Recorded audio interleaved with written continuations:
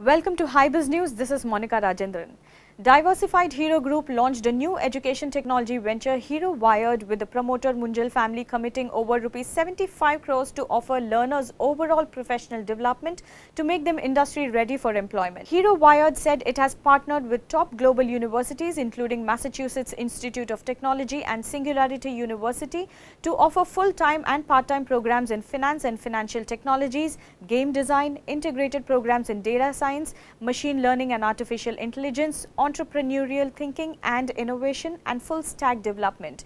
Commenting on the new venture, Hero Vired founder and CEO Akshay Munjal said that the venture has been aimed at addressing the problem of employability in India and the skill gaps that exist in the industry at present. We have got a very large young population which is definitely looking for jobs, currently either unemployed or not meaningfully employed.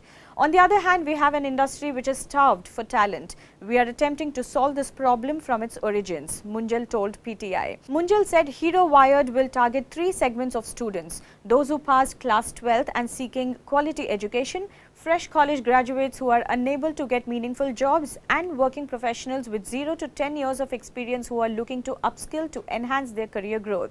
The EdTech startup will offer two programs, a 6 months full-time program followed by 3 to 4 months of internship and a part-time program of over 11 months with classes over weekends. Fee ranges from rupees 2.5 lakhs to 5 lakhs depending on the program, Munjal said, adding that the first session will begin in July this year for two programs and the others to be added gradually gradually with the number of students capped at 100 students per batch per program.